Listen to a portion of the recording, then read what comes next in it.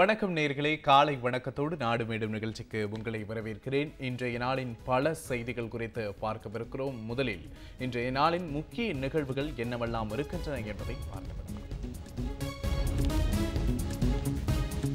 India முழுவதும் விவசாயிகள் வீதிக்கு வந்து போராடுகிறார்கள். மனித உரிமையை பெறும் வரை உரிமை போர் தொடரட்டும் என்று திமுக தலைவர் மு ஸ்டாலின் தெரிவித்திருக்கிறார். மனித உரிமை நாளை முன்னிட்டு இந்த பதிவை அவர் சமூக வலைதளத்தில் பதிவிட்டிருக்கிறார். தமிழகம் மீட்போம் இரண்டாயிரத்தி இருபத்தி ஒன்று சட்டமன்ற தேர்தல் சிறப்பு பொதுக்கூட்டங்கள் நடைபெறும் மாவட்டங்கள். தேதி குறித்து திமுக புதிய அறிவிப்பை வெளியிட்டிருக்கிறது. அதிமுக ஆட்சியில் திமுக தலைவர் மு ஸ்டாலினுக்கு எதிராக தொடர்ந்த அவதூறு வழக்குகள் ரத்து செய்யப்படுவதாக உயர்நீதிமன்றம் தீர்ப்பளித்திருக்கிறது. பொதுத்துறையில் ஜிபிஎஸ் கருவிகள் வாங்கியதில் ஊழல் உயர்நீதிமன்றத்தின் தீர்ப்பின் மூலம் அம்பலமாகி இருப்பதாக போக்குவரத்து துறை ஊழல் பற்றி முன்னாள் அமைச்சர் கே என் நேரு அறிக்கை வெளியிட்டிருக்கிறார். வேளாண் சட்டங்கள் முற்றிலும் நிராகரிக்கப்பட வேண்டும் என்று திமுக எம்பி கனிமொழி கருத்து தெரிவித்திருக்கிறார். எட்டு வழிச்சாலை திட்டத்திற்கு எதிராக டிசம்பர் இருபத்தி எட்டாம் தேதி ஐந்து மாவட்டங்களில் பெரும் திரள் போராட்டம் நடத்தப்படும் என்று விவசாயிகள் அறிவித்திருக்கிறார்கள். தமிழகத்தில் இந்த மாதம் பள்ளிகளை திறப்பது சாத்தியம் இல்லை என்ற தகவலை தமிழக அரசு வெளியிட்டிருக்கிறது. நிதி பற்றாக்குறை என்றால் பொருளாதார நெருக்கடி நிலையை பிறப்பிக்கலாமா என்று தமிழக அரசுக்கு உயர்நீதிமன்றம் சரமாரியாக கேள்விகளை எழுப்பியிருக்கிறது. தமிழக அரசுக்கு வழக்கு ஒன்றில் தமிழக அரசின் மீது இந்த அதிருப்தியை நீதிமன்றம் வெளி வெளிப்படுத்தி இருக்கிறது. பொதுத் தேர்வு தேதி தொடர்பாக பரவி வரும் தகவல் உண்மை இல்லை என்ற தகவலை பார்க்கிறோம். இது தொடர்பாக சிபிஎஸ்இ விளக்கம் அளித்திருக்கிறது. வேளாண் சட்டங்களை இரவுக்குள் திரும்ப பெறாவிட்டால் ரயில்களை முடக்குவோம் என விவசாயிகள் நேற்று எச்சரிக்கை விடுத்தனர் என்பதை பார்க்கிறோம். விவசாயிகளின் டெல்லி போராட்டத்தின் பின்னணியில் பாகிஸ்தான் சீனா போன்ற எதிரி நாடுகள் இருப்பதாக மத்திய இணையமைச்சர் ஒருவர் கருத்து தெரிவித்திருப்பதை பார்க்கிறோம். கூடுதலாக டெல்லி போராட்டத்தில் பெண் விவசாயி ஒருவர் பலியாகியிருக்கிறார் என்ற தகவலை பார்க்கிறோம். நீட் தேர்வுக்கான ஓஎம்ஆர் விடைத்தாளில் முறைகேடுகள் நடக்க வாய்ப்பு இருக்கிறதா என்பது பற்றி தேசிய தேர்வு முகமை விசாரித்து அறிக்கை தர வேண்டும் என்று நீதிமன்றம் உத்தரவிட்டிருக்கிறது. நீட் தேர்வு தொடர்பாக பல சர்ச்சைகள் இருக்கின்ற நிலையில் தற்போது புதிதாக இந்த சர்ச்சையும் சேர்ந்திருக்கிறது. கொரோனா தடுப்பூசி போடுவதற்கான பணிகள் தீவிரமடைந்திருக்கின்றன. தமிழகத்தில் முதலில் ஐந்து லட்சம் பேருக்கு கொரோனா தடுப்பூசி போடப்படும் என்ற தகவல் வெளியாகி இருக்கிறது கேரளாவில் முதல் முறையாக வாக்குச்சாவடியில் ரோபோ பயன்படுத்தப்படுகிறது என்பதை பார்க்கிறோம்.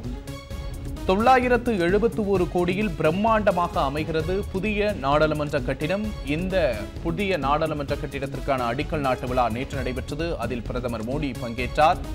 பாஜக கட்சிக்குள் எதிர்ப்பு அதிகரித்திருக்கிறது. முதல்வராக இருக்க வேண்டுமா வேண்டாமா என்பது பற்றி டிசம்பர் பதிமூன்றில் திரிபுரா முதலமைச்சர் முடிவு செய்வதாக பார்க்கிறோம். அங்கும் ஒரு தர்ம யுத்தம் ஆரம்பித்திருக்கிறது என்பதை பார்க்கிறோம். ஊரடங்கு கால ஹீரோவுக்கு அங்கீகாரம் கிடைத்திருக்கிறது. உலகின் சிறந்த ஐம்பது ஆசிய பிரபலங்கள் பட்டியலில் நடிகர் சோனு சூட்டுக்கு முதலிடம் கொடுக்கப்பட்டிருக்கிறது. நடிகர் சோனு சூட் கொரோனா ஊரடங்கின் போது பலருக்கும் உதவிகளை செய்தார். தனது சொத்துக்களை விற்று அவர் உதவி செய்தார் என்பதும் சமூக வலைதளத்தில் பரவலாக பேசப்பட்டது என்பதை பார்க்கிறோம். கடைசி மூச்சு உள்ளவரை உதவுவதை நிறுத்த மாட்டேன் என்று நடிகர் சோனு சூட் அறிவித்திருக்கிறார்.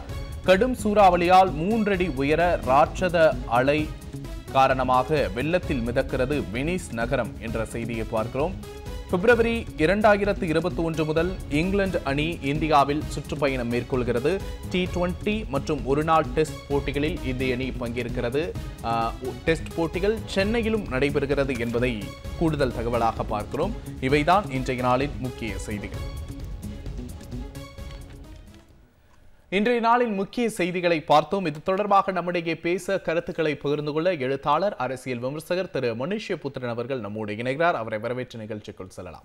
வணக்கம் திரு மனுஷ்யபுத்திரன். வணக்கம். இன்னைக்கு முதல் செய்தியா நம்ம பார்க்கிறது அதிமுக ஆட்சியில திமுக தலைவர் மேல தொடர்ந்த ஒரு நான்கு அவதூறு வழக்குகள் நீதிமன்றத்தால ரத்து செய்யப்பட்டிருக்கிறத பார்க்கிறோம். அதிமுக ஆட்சியினாலே அவதூறு வழக்குகளுக்கு பஞ்சமில்லை அப்படின்னு எடுத்துக்கிட்டாலும் முன்னாள் முதலமைச்சர் ஜெயலலிதா இருந்தபோதும் சரி இப்போதும் சரி அதிமுக ஆட்சியாளர்கள் தங்களுக்கு எதிராக வைக்கப்படுற விமர்சனங்கள் மற்றும் தங்களுக்கு எதிராக வைக்கப்படுற குற்றச்சாட்டுகளை அணுகிற முறையை எப்படி பார்க்குறீங்க? உங்களோட பார்வை நேற்று திமுக தலைவர் அவர்களுக்கு எதிராக தொடுக்கப்பட்ட அந்த நான்கு அவதூறு வழக்குகளை ஏற்கனவே மூன்று வழக்குகளை உயர்நீதிமன்றம் ரத்து செய்துவிட்டது. இப்பொழுது மேலும் நாலு வழக்குகளை ரத்து செய்திருக்கிறது. அப்படி இருக்கிற போது திமுக தரப்பில் வாதிட்ட வழக்கறிஞர் அவர்கள் அது எதுவும் அவதூறு அல்ல ஆட்சியாளர்கள் மீது வைக்கப்பட்ட விமர்சனங்கள் என்பதை சுட்டிக்காட்டினார். இதை நீதிமன்றம் ஏற்றுக்கொண்டது அது மட்டுமல்ல விமர்சனங்களை சகிப்புத்தன்மையுடன் அணுகக்கூடிய ஒரு தன்மை ஆட்சியாளர்களுக்கு இருக்க வேண்டும் என்கிற ஒரு முக்கியமான ஒரு ஒரு தலையில் ஒரு குட்டு வைத்திருக்கிறது என்று சொல்ல வேண்டும். ஆனால் இந்த அதிமுக ஆட்சியை பொறுத்த வரைக்கும் அவதூறு வழக்கு என்பதை எதிர்க்கட்சிகளுக்கு எதிராகவும் ஊடகவியலாளர்களுக்கு எதிராகவும் மாற்று கருத்துக்களை சொல்லக்கூடியவர்களுக்கு எதிராகவும் ஒரு மிகப்பெரிய அரசியல் ஆயுதமாக தொடர்ந்து பயன்படுத்தி வந்திருக்கிறது என்பதை நாம் பார்க்கிறோம். தங்களுக்கு எதிரான எல்லா குரல்களையும் ஒடுக்க வேண்டும் முடக்க வேண்டும் என்பது அவர்களுடைய திட்டமாக இருந்திருக்கிறது. இந்த ஆட்சியில் போடப்பட்ட நூற்றுக்கணக்கான அவதூறு வழக்குகள் அதில் பல வழக்குகளை நீதிமன்றம் திரும்ப திரும்ப தள்ளுபடி செய்திருக்கிறது. ஆனாலுமே கூட நீங்கள் நக்கீரன் பத்திரிகையின் மீது போடப்பட்ட வழக்குகளாக இருக்கலாம். வேறு பல பத்திரிகையாளர்கள் மீது போடப்பட்ட வழக்குகள். ஊடகங்களில் ஒரு தொலைக்காட்சியினுடைய செய்தி வாசிப்பாளரின் மீது கூட வழக்கு போட்டார்கள். அந்த அளவிற்கு மிக மோசமான இன்னும் சொல்ல போனால் தொலைக்காட்சி விவாதங்களில் பங்கெடுக்கக்கூடியவர்கள் மீதெல்லாம் கூட இந்த வழக்குகள் தொடுக்கப்பட்டிருக்கின்றன என்பதை நாம் பார்க்கிறோம். அப்படி பார்க்கிற போது ஜனநாயகத்தினுடைய அடிப்படையான பேச்சுரிமை கருத்துரிமை இது இரண்டையும் அதிமுக ஆட்சியாளர்களால் முக்கியமாக இதற்கு வழிகோலியவர் ஜெயலலிதா. மிக கொடூரமான முறையில் மாற்று கருத்துக்களை அவர் ஒடுக்கி இருக்கிறார். இதில் மிக அதிகமான தாக்குதலுக்கு உள்ளானது திராவிட முன்னேற்ற கழகம் திராவிட முன்னேற்ற கழக தலைவர் அவர்கள்.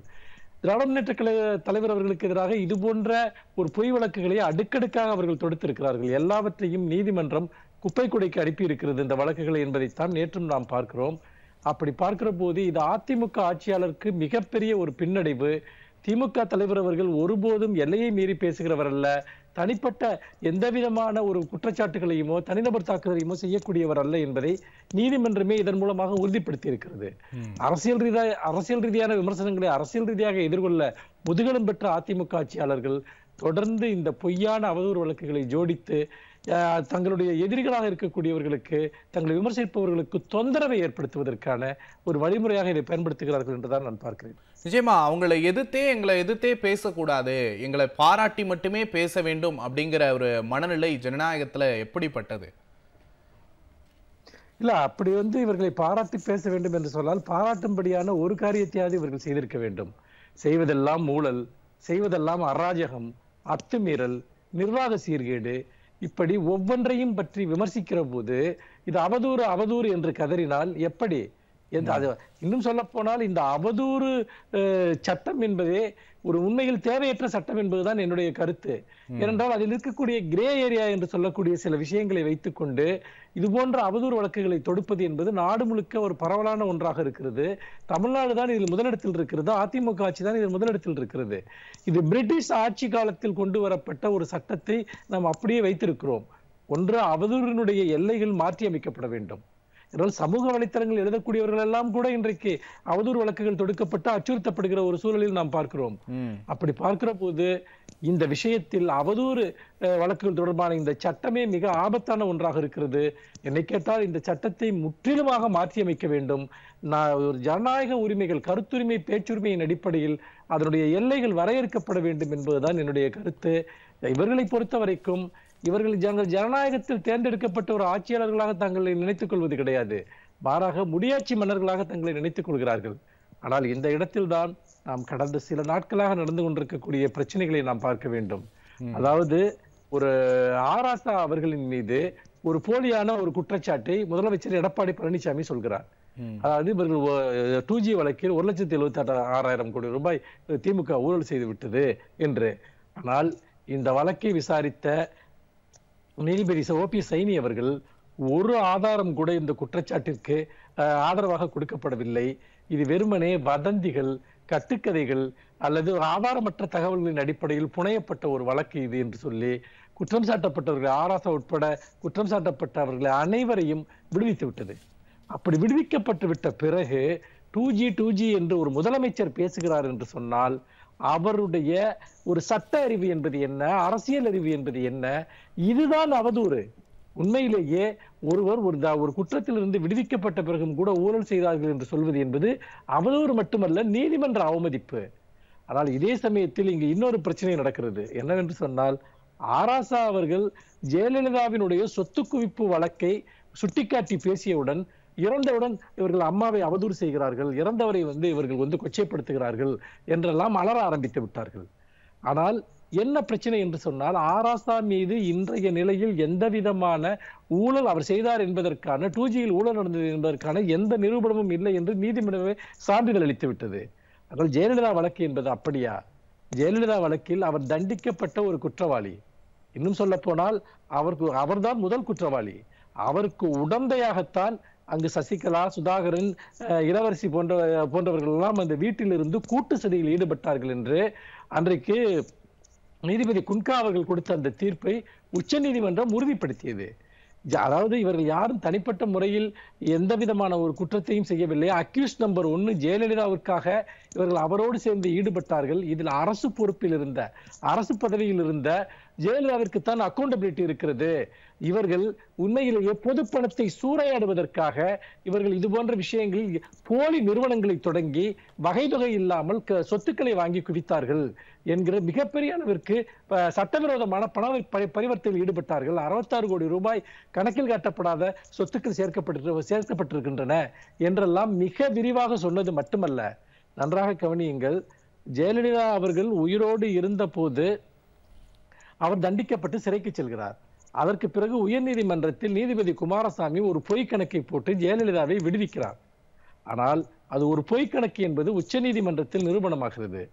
அப்படி நிரூபணமாகிற போது ஜெயலலிதா அப்பொழுது உயிரோடு இல்லை. உச்சநீதிமன்ற தீர்ப்பு வருகிற போது உயிரோடு இல்லை என்பதனால் அவர் குற்றமற்றவர் என்று விடுவிக்கப்படவில்லை. இறந்த ஒருவரை தண்டிக்க முடியாது என்கிற அடிப்படையில் அபேடட் அதாவது அந்த வழக்கில் இருந்து அவர் விலக்கப்படுகிறார்.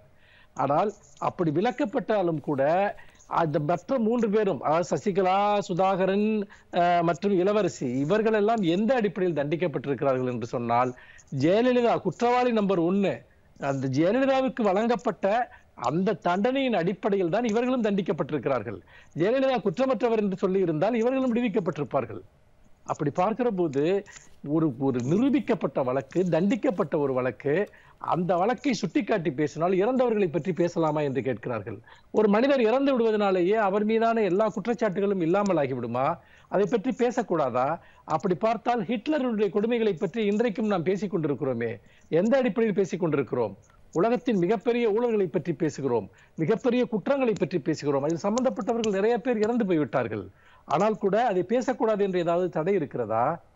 இதில் இன்னொரு அப்படி பார்க்கிற போது இதில் இன்னொரு விஷயம் என்னவென்று சொன்னால் ஆராசா அவர்கள் வந்து ஏதோ இவர்களை கொச்சைப்படுத்தி விட்டார்கள் அவதூறான வார்த்தையை பயன்படுத்தி விட்டார் என்றெல்லாம் பொய்யாக கதறி கொண்டிருக்கிறார்கள் ஆராசா அப்படி எந்த வார்த்தையும் பயன்படுத்தவில்லை. அப்படி ஒருவரை கொச்சைப்படுத்தக்கூடிய இழிவுபடுத்தக்கூடிய எந்த சொல்லையும் ஆராசா அவர்கள் பயன்படுத்தவில்லை. நிச்சயமா விவாதத்திற்கு வாங்க அப்படின்னு தான் அழைச்சாரு. நான் வந்து முதலமைச்சருக்கு எக்ஸ்பிளைன் பண்ண தயார் அப்படின்னு சொன்னாரு. ஆனா முதலமைச்சரோட அணுகுமுறை அப்படிங்கிறது பத்திரிகையாளர்கள் கேள்வி கேட்கும்போது அவருக்கெல்லாம் பதில் சொல்ல முடியாது அப்படிங்கிற மாதிரி சொல்றதும் பத்திரிகையாளர்களிடமே கோபப்படுறதும் முதலமைச்சரோட அணுகுமுறையா இருக்கு. இதை எப்படி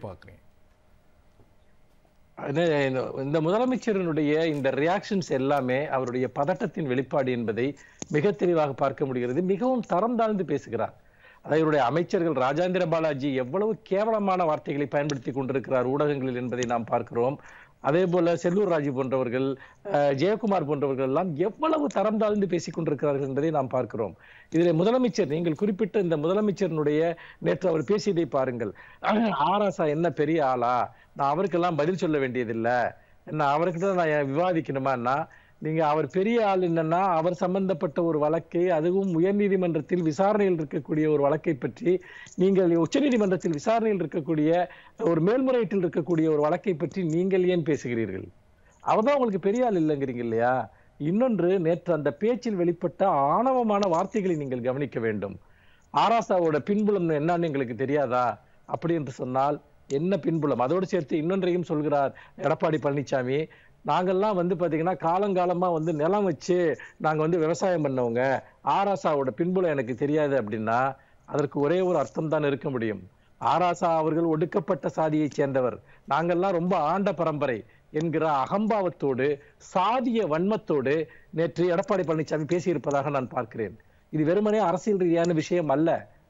அப்படி பார்க்கிற போது இந்த விஷயத்தில் ஏன் இன்றைக்கு பலரும் இது போன்ற ஒடுக்கப்பட்ட சமூகம் சார்ந்த பிரச்சனைகள் வருகிற போதெல்லாம் குரல் கொடுக்கிறவர்கள் வந்து இதில் ஏன் மௌனமாக இருக்கிறார்கள்? ஆராசா மீது நேற்று எடப்பாடி பழனிசாமி அவர்கள் பேசியது என்பது சாதி ரீதியான வன்மமான தாங்கள் இன்னும் சொல்ல போனா ஒரு நிலச்சுவாந்தாரினுடைய ஆதிக்க மனோபாவத்துடன் வெளிப்படுத்தப்பட்ட ஒரு குரல். ஒரு ஒடுக்கப்பட்ட சமூகத்திலிருந்து எழுந்து வந்த ஒரு தலைவரை நோக்கி அவர் எழுப்பப்பட்ட ஒரு மிக இழிவான சொல்லது. ஜனநாயகத்தில் எல்லோரும் எல்லோருக்கும் பதில் சொல்ல கடமைப்பட்டவர்கள். நீங்கள் ஒரு குற்றச்சாட்டை அவர் மீது வைக்கிறீர்கள். நான் அதை விவாதிக்க தயார் என்று அவர் சொல்கிறார். உன்னோடு நான் பேச மாட்டேன் என்று சொன்னால் நீங்கள் வேறு யாரோடு பேசுவீர்கள்? இன்னொன்று ஆராசா அவர்கள் ரெண்டாயிரத்தி ஒண்ணாம் ஆண்டிலேயே அவர் மத்திய இணையமைச்சராக ஆனவர். ரெண்டாயிரத்தி ஒன்னிலே எடப்பாடி பழனிசாமி யார் என்று யாருக்காவது தெரியுமா? அப்பொழுது அவர் என்ன செய்து கொண்டிருந்தார்? அவருடைய நிலை என்பது என்ன? கட்சியில் அவருடைய இடம் என்பது என்ன? அமித்ஷாவை போய் ஓடோடி போய் வரவேற்றாரு விமான நிலையத்தில் எடப்பாடி பழனிசாமி.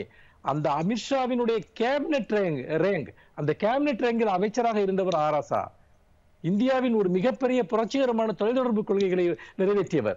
அப்படி பார்க்கிற போது உங்களுக்கு முதலமைச்சரோட அந்த பேச்சுக்கு பல்வேறு தரப்புல இருந்தும் கண்டனங்கள் வந்துட்டு இருக்கிறத பாக்குறோம் இது இது உண்மையில் ஆராசா இதை சொல்லி இருந்தாலாவது ஒரு பொருத்தம் இருக்கும். என்னுடைய தகுதிக்கு என்னுடைய கல்விக்கு என்னுடைய படிப்பிற்கு என்னுடைய அரசியல் அனுபவத்திற்கு எடப்பாடி பழனிசாமியோட எல்லாம் நான் விவாதிக்க மாட்டேன் என்று ஆராசா அவர்கள் சொல்லி இருந்தாலாவது அதில் ஒரு அர்த்தம் இருக்கிறது. நீங்கள் எப்படி முதலமைச்சர் பதவியை பெற்றீர்கள்? எப்படி தவழ்ந்து தவழ்ந்து சென்று அதை போய் அந்த பதவியை பெற்றீர்கள்? பிறகு அவர்களுக்கே துரோகம் செய்துவிட்டு நீங்கள் எப்படி ஆட்சி நடத்தி கொண்டிருக்கிறீர்கள்? சசிகலாவிற்கு நீங்கள் அங்கு போய் கூவத்தூரில் நீங்கள் போய் அங்கு போய் எவ்வளவு தூரம் எல்லோரையும் விலைக்கு வாங்கி இந்த ஆட்சியை அமைத்தீர்கள்? பிறகு சசிகலா ஜெயிலுக்கு போன பிறகு நீங்கள் எப்படி பாஜகவினுடைய பாஜகவை அண்டிப்படைத்துக் கொண்டு நீங்கள் உங்கள் ஆட்சியை நடத்தி கொண்டிருக்கிறீர்கள் அதற்காக மாநில உரிமைகளை எல்லாம் விட்டுக் கொடுத்துக் கொண்டிருக்கிறீர்கள் என்பதை நாடே பார்த்துக் கொண்டிருக்கிறது. நிச்சயமா மக்கள் பார்த்துட்டு இருக்காங்க எல்லா விமர்சனங்களையும் மக்கள் எடை போடுவாங்க அப்படிங்கிறது முதலமைச்சர் முதலமைச்சருக்கு தெரியாது அப்படின்னு நினைக்கிறேன். நம்ம தொடர்ந்து அடுத்த ஒரு செய்தியா நீட் தேர்வுக்கான ஓஎம்ஆர் விடைத்தாள்ல குளறுபடி நடக்கிறதுக்கு வாய்ப்பு இருக்கா அப்படின்னு நீதிமன்றம் ஒரு கேள்வி எழுப்பியிருக்கு. நீட் தேர்வில் பல சர்ச்சைகள் பல குழப்பங்கள் அதோட இந்த குழப்பமும் இப்போ சேர்ந்திருக்கு. நீட் தேர்வு முடிவுகள் வெளியானப்பவே பல மாணவர்கள் இந்த குற்றச்சாட்டை எழுப்புனாங்க. இப்போ நீதிமன்றம் வரைக்கும் ஒரு மாணவரோட வழக்கு வந்தனால இந்த விஷயம் அப்படிங்கிறது வெளியே வந்திருக்கு. இது தொடர்பாக விசாரணை நடத்தணும் அப்படின்னு நீதிமன்றம் உத்தரவிட்டிருக்கு. இதை எப்படி பார்க்குறீங்க அதாவது இந்த நீட் தேர்வு நீட் தேர்வு தொடர்பாக நீங்கள் அந்த தேர்வுகள் நடத்தப்படுகிற விதம் அதே போல மதிப்பெண்கள் அளிக்கப்படுகிற விதம் இதை பற்றி எல்லாம் தேர்வு முடிவுகள் வந்ததிலிருந்து ஏராளமான கே கேள்விகளும் சந்தேகங்களும் தொடர்ந்து இருந்து கொண்டிருக்கின்றன. எதற்குமே முறையான பதில் கிடையாது. என்னை பொறுத்த வரைக்கும் இதை நான் வெறும் குளறுபடிகளாக நான் பார்க்கவில்லை. மாறாக இது திட்டமிட்டு செய்யப்படுகிற ஒரு கான்ஸ்பிரசி என்று பார்க்கிறேன். பல மாணவர்களுடைய வாய்ப்புகளை பறிப்பதற்காக மிகவும் முறையற்ற வகையில் திட்டமிட்ட வகையில் இந்த முறைகேடுகள் செய்யப்படுகின்றன என்பதைத்தான் நாம் தொடர்ச்சியாக பார்க்க வேண்டியிருக்கிறது. அப்படி பார்க்கிற போது நீட் தேர்வு என்பதே அடிப்படையில் ஒரு மோசடி. அது முறைகேடு. அந்த மோசடிக்குள் நடக்கிற ஒரு மோசடிகளாகத்தான் நாம் இதை பார்க்க வேண்டும். ஏனென்று கேட்டால் இவ்வளவு தூரம் கெடுபிடிகளை செய்யக்கூடியவர்கள் ஒரு நீட் தேர்வில் இவ்வளவு தூரம் கெடுபிடிகளை செய்யக்கூடியவர்கள் நீட் தேர்வு முடிவுகளில் அந்த முடிவுகளை நீங்க வந்து முதல்ல வந்து பாத்தீங்கன்னா தேர்வு எழுதினவங்களுக்கும் தேர்ச்சி பெற்றவர்களுக்கும் இடையில சம்பந்தம் இல்லாத நம்பர் வெளியிடப்பட்டு அது தேசிய அளவுல பிரச்சனையாகி அப்புறம் அதை மாத்துறாங்க. கேட்டா வந்து இது கம்ப்யூட்டர்ல ஏதோ மிஸ்டேக் ஆயிடுச்சுங்கிறாங்க. அதுக்கப்புறம் இது போன்ற மதிப்பெண் கொடுப்பதில் இருக்கக்கூடிய பல்வேறு விதமான முறைகேடுகள் மதிப்பிடுவதில் இருக்கக்கூடிய முறைகேடுகள் இது எல்லாமே திட்டமிட்ட வகையில் அரங்கேற்க அரங்கேற்றப்படுகின்றன. திட்டமிட்டு அரங்கேற்றப்படுது அப்படின்னா யாருக்கு எதிரான திட்டம் அப்படின்னு நினைக்கிறீங்க? குறிப்பா தமிழ்நாட்டை மட்டும் குறிவைத்து இந்த திட்டமிட்டு செய்யப்படுது அப்படின்னு நினைக்கிறீங்களா? நிச்சயமாக அதாவது நீங்க இந்த இது ஒரு அதிக அளவில் யார் இதில் தேர்ச்சி பெறுகிறார்கள் என்று பார்க்கிற போது இந்த நீட் தேர்வின் மூலமாக உயர் சாதி மாணவர்கள் அதிக அளவிற்கு தேர்ச்சி பெறுகிறார்கள். முன்னேறிய வகுப்பினை சேர்ந்தவர்கள் தேர்ச்சி பெறுகிறார்கள். காரணம் அதற்கான ஒரு சமூக சூழல் அதற்கான ஒரு கட்டமைப்பு இந்த நீட் தேர்விற்குள் உருவாக்கப்பட்டிருக்கிறது. அவர்கள் தான் கோச்சிங் சென்டருக்கு போக முடியும் படிக்க முடியும் என்றெல்லாம். அப்படி இருக்கிற போது பாடுபட்டு போராடி உழைத்து படித்து வரக்கூடிய மாணவர்களை ஸ்கிரீன் செய்து வெளியே தள்ளுவது பல்வேறு விதமான முறைகேடுகளின் மூலமாக அவர்களை வெளியே தள்ளுவதற்கான ஒரு மிகப்பெரிய சதி இதற்கு பின்னால் நடக்கிறது. நீட் தேர்வு என்பது உண்மையிலேயே அது ஒரு கிராமப்புற மாணவர்கள் ஒடுக்கப்பட்ட பிற்படுத்தப்பட்ட சமூக மாணவர்களுக்கு எதிரான அந்த தேர்வே ஒரு சதி என்கிற போது மேலும் ஸ்கிரீன் செய்வதற்கான இந்த முறைகேடுகள் தொடர்ந்து அரங்கேற்றப்படுகின்றன. இதற்குள் லஞ்சம் என்பதும் பெருமளவிற்கும் தலைவிரித்தாடுகிறது என்பதைத்தான் நாம் பல சந்தர்ப்பங்களில் நாம் பார்க்கிறோம். அப்படி பார்க்கிற போது நீட் தேர்வு ஒழிக்கப்படுவது ஒன்றுதான் இதற்கான ஒரே தீர்வு. நீட் தேர்வே ஒரு சதி மாணவர்களுக்கு எதிரான ஒரு சதி அப்படின்னு சொல்கிறீங்க நம்ம தொடர்ந்து பேசலாம். ஒரு சிறிய இடைவேளைக்கு பிறகு நேர்களை நாடு மீண்டும் நிகழ்ச்சி ஒரு சிறிய இடைவேளைக்கு பிறகு. மனுஷபுத்திரன் இருவேறு முக்கிய செய்திகள் தேசிய செய்திகளாக இருக்குது ஒரு பக்கம் டெல்லியில் விவசாயிகள் கடும் குளிர்லையும் பத்து நாட்களுக்கு மேலாக கடுமையான போராட்டத்தை முன்னெடுத்திருக்கிறாங்க. மத்திய அரசு கோரிக்கைகளை நிறைவேற்றலைன்னா போராட்டம் தீவிரமடையும் அப்படின்னு சொல்லியிருக்கிறாங்க. இன்னொரு பக்கம் புதிய நாடாளுமன்றத்திற்கான அடிக்கல் நாட்டு விழாவில் பிரதமர் மோடி அந்த யாகம் விளக்குறது இதிலெல்லாம் பங்கேற்ற காட்சிகள் சமூக வலைதளத்துல நேற்று பார்க்க முடிஞ்சது. இதை எப்படி பார்க்குறீங்க? ஒரு சாமானியனுக்கு இடக்கூடிய கேள்வி என்னன்னா என்னையா நாட்டுல இவ்வளவு பிரச்சனை இருக்கு பிரதமர் இதுதான் முக்கியமா பிரதமர் இதுல போய் கலந்துட்டு இருக்கிறாரே அப்படிங்கிற ஒரு கேள்வி எழுது. இது எப்படி பார்க்குறீங்க? உண்மையிலேயே நாடாளுமன்றத்திற்கே வராத ஒரு பிரதமர். நாடாளுமன்றம் நடக்கிற போதெல்லாம் எங்காவது வெளிநாடுகளில் சுற்றி கொண்டிருந்த ஒரு பிரதமர் ஒரு நாடாளுமன்றத்திற்கு ஒரு புதிய கட்டிடத்தை கட்டுகிறேன் என்று சொல்வதுதான் வேடிக்கையிலும் வேடிக்கையானது. ஒருவேளை பழைய நாடாளுமன்ற கட்டிடம் வசதி குறைவாக இருக்கிறது என்பதனால் அவர் இந்த புதிய கட்டிடத்தை கட்டிவிட்டு அதில் இது அதில்தான் வந்து அமர்வேன் என்ற அடிப்படையில் இந்த ஆயிரம் கோடி ரூபாய் செலவில் இந்த கட்டிடத்தை கட்டுகிற பணியில் இறங்கி இருக்கிறாரா என்பதும் நமக்கு புரியவில்லை. ம். இதுல அடிப்படையான இன்னொரு பெரிய முரண் நகை ஒரு வேடிக்கை என்னவென்று சொன்னால் நாடாளுமன்ற ஜனநாயகத்தை கிஞ்சிக்கும் மதிக்காமல் தொடர்ந்து அவசர சட்டங்களை ஏற்றிக் கொண்டிருக்கக்கூடியவர் ஜனநாயக விரோதமான சட்டங்களை ஏற்றிக்கொண்டிருக்கக்கூடியவர் எந்த விவாதமும் இன்றி ஒரு மிகப்பெரிய ஒரு சட்டங்களை எல்லாம் மக்கள் விரோத சட்டங்களை எல்லாம் நிறைவேற்றிக் கொண்டிருக்கக்கூடிய ஒரு பிரதமர் இந்த நாடாளுமன்றத்தை கட்டி அதில் என்ன செய்ய போகிறார் என்றுதான் எனக்கு புரியவில்லை. நாடாளுமன்றத்தில் அது அந்த ஜனநாயகத்தின் மீது நம்பிக்கை கொண்டவர்கள் கொண்டவர்கள் ஒரு புதிய நாடாளுமன்றத்தை கட்டடத்திற்கு ஆசைப்பட்டாலாவது ஒரு அர்த்தம் இருக்கிறது. மாறாக நாடாளுமன்றம் என்ற ஒன்றே இந்த நாட்டிற்கு தேவையில்லை என்கிற உணர்வோடு செயல்பட்டு கொண்டிருக்கக்கூடிய ஒரு பிரதமர் இவ்வளவு பெரிய முயற்சியில் அவர் இறங்குகிறார் என்பது தன்னுடைய பெயரை சொல்லக்கூடிய தன்னுடைய காலத்தில் இது கட்டப்பட்டது தன்னுடைய ஆட்சி காலத்தில் கட்டப்பட்டது என்று தனக்குத்தானே ஒரு தாஜ்மஹால் போல அவர் அதை கட்டிக்கொள்ள விரும்புகிறார். தனக்குத்தானே அவர் அதை ஒரு மிகப்பெரிய ஒரு நினைவு சின்னமாக அதை கட்டிக்கொள்ள விரும்புகிறார் என்றுதான் தோன்றுகிறது.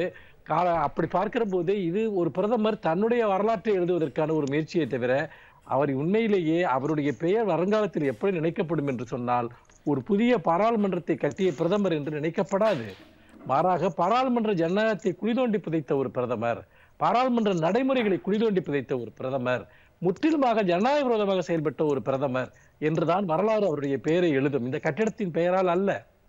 இன்னொன்று ராமர் கோயிலுக்கு பூஜை போடுவது நாடாளுமன்ற கட்டிடத்திற்கு பூஜை போடுவது என்றெல்லாம் இவர் செய்து கொண்டிருக்கக்கூடிய இந்த நேரத்தில் இந்த நாட்டில் என்ன நடந்து கொண்டிருக்கிறது என்பதை பாருங்கள். லட்சக்கணக்கான விவசாயிகள் தலைநகரில் போராடி கொண்டிருக்கிறார்கள். இன்றைக்கு பாரதிய பிரதமர் இதைத்தான் புதிய இந்தியாவுக்கான தொடக்கம் அப்படின்றாரு. இல்ல இன்றைக்கு பாரதியினுடைய பிறந்த தினம். மகாகவி பாரதி சொல்கிறான் சொல்ல கொதிக்குதடா நெஞ்சம் வெறும் சோற்றுக்கா வந்தது இந்த பஞ்சம் என்று. அப்படி ஒரு வெறும் சோற்றிற்கு வந்த இந்த பஞ்சத்தின் விளைவாகத்தான் புலம்பெயர்ந்த தொழிலாளர்கள் லட்சக்கணக்கான ஒரு கால்நடையாகவே நடந்து சென்றார்கள் அந்த லாக்டவுன் பீரியட்ல அப்படி கால்நடையாக சென்ற அந்த காட்சியை பார்த்து உலகமே அதிர்ந்தது. அதோடு மட்டுமல்ல நாடு முழுக்க வேலை இழந்து வாழ்வாதாரம் இழந்து மக்கள் தத்தளித்துக் கொண்டிருந்த போது அவர்களுக்காக மத்திய அரசு ஒரு துரும்பை கூட கிள்ளி போடவில்லை. பல போலியான நிவாரணங்களை அறிவித்தார்கள். எதுவுமே மக்களுக்கு போய் சேரவில்லை. நிர்மலா சீதாராமன் அறிவித்த அந்த திட்டங்கள் எல்லாம் ஏதாவது போய் மக்களிடம் சேர்ந்ததா? மாறாக இவர்களுடைய ஆடம்பரம் அல்லது இவர்களுடைய அடையாள அரசியல் இதற்காக இதை செய்து கொண்டிருக்கிறார்கள். இன்னொரு புறம் டெல்லியில் இன்றைக்கு இவ்வளவு பெரிய ஒரு போராட்டத்தை விவசாயிகள் செய்து கொண்டிருக்கிற போது நேற்றைக்கு வரைக்கும் கூட விவசாயிகளுடைய கோரிக்கைகளை ஏற்க மறுத்து உங்க ப்ரப்போசலை நீங்க திரும்ப வாங்குங்க. நாங்க வந்து நீங்க பேச்சுவார்த்தைக்கு நீங்க சொல்றதெல்லாம் ஏத்துக்க முடியாதுங்கிற நிலைப்பாட்டில் மத்திய அரசு பிடிவாதமாக இருந்து கொண்டிருக்கிறது. அப்படி என்று சொன்னால் ஆனால் இதை பற்றி எல்லாம் இவர்களை எல்லாம் பிரதமர் சந்திக்க மாட்டார். புலம்பெயர்ந்த தொழிலாளர்களை அவர் சந்திக்க மாட்டார். லாக்டவுனில் பாதிக்கப்பட்ட மக்களை சந்திக்க மாட்டார். போராடுகிற விவசாயிகளை சந்திக்க மாட்டார். மாறாக இது போன்ற அடிக்கல் நாட்டு விழாக்களை நடத்துவது நாட்டிற்கு வீண் செலவுகளையும் சுமைகளையும் நீங்க என்ன பண்றீங்க? பட்டேலுக்கு வந்து மூவாயிரம் கோடி ரூபாய் செலவுல சிலை அமைக்கிறீங்க. அந்த சிலையினுடைய நோக்கம் என்பது என்ன? அது இந்த நாட்டிற்கு எதற்காக தேவைப்படுகிறது? அந்த மூவாயிரம் கோடி ரூபாய் மதிப்பிலான ஒரு சிலை. ஏனென்றால் தங்களுடைய அடையாள அரசியல் பாஜகவுடைய அரசியலுக்காக இவர்கள் மக்களுடைய பணத்தை வீணாக்குகிறார்கள். இந்த புதிய பாராளுமன்ற கட்டிடம் என்பதும் அத்தகைய ஒன்றுதான். இதிலிருந்து எப்படி இந்தியா பிறக்கும்? புதிய இந்தியா பிறக்கும்? ஒரு புதிய நாடாளுமன்ற கட்டிடத்தை கட்டிவிட்டால் இந்தியாவில் வேலை வாய்ப்பு பெருகிவிடுமா? இந்தியாவினுடைய பண்பாடு உயர்ந்து விடுமா? இந்தியாவினுடைய பொருளாதாரம் உயர்ந்து விடுமா? இந்தியா எதிர்கொண்டிருக்கக்கூடிய எந்த பிரச்சனையாவது தீர்க்கப்பட்டு விடுமா? ஏற்கனவே இருக்கக்கூடிய நாடாளுமன்றத்தை வைத்துக்கொண்டு நீங்கள் எதையாவது ஒரு பிரச்சனையை அப்படி விவாதித்து தீர்த்திருக்கிறீர்களா? அப்படி பார்க்கிற போது வெற்று வார்த்தைகள் அலங்கார வார்த்தைகளை தொடர்ந்து ஜோடனைகளாக செய்து கொண்டிருப்பது ஒன்றையே ஒரு பிரதமர் வேலையாக செய்து கொண்டிருக்கிறார் என்பதைத்தான் பார்க்க முடிகிறது. இது இந்த நாட்டினுடைய இந்த நாட்டினுடைய பொருளாதாரம் இவ்வளவு நெருக்கடியில் இருக்கிற போது இப்படி ஒரு ஒரு ஒரு கட்டிட வேலையை ஆரம்பிப்பது என்பது இந்த நாட்டு மக்களுடைய உணர்வுகளை கொச்சைப்படுத்துவதாக இருக்கிறது. அவர்களுடைய வறிய துயரமான நிலையை கொச்சைப்படுத்துவதாக இருக்கிறது. அதாவது ரோம் பற்றி அறிகிற போது நீரோ மன்னன் பிடில் வாசித்தானாம் அவருக்கு அவனுக்கும் நம்முடைய பிரதமருக்கும் எந்த வித்தியாசமும் கிடையாது என்பதைத்தான் நான் பார்க்கிறேன். நிச்சயமா. இதே கேள்விகளை தான் மக்களும் எழுப்புறாங்க. ஏன் இப்போ இந்த வீண் செலவு அப்படிங்கிறதா மக்களோட கேள்வியாகவும் ஆதங்கமாகவும் இருக்கு. நிகழ்ச்சியில் வந்து பங்கு கொண்டமைக்காக மிக்க நன்றி. நேர்களே மற்றொரு நாடு மேடும் நிகழ்ச்சியில் சந்திக்கலாம். வணக்கம்.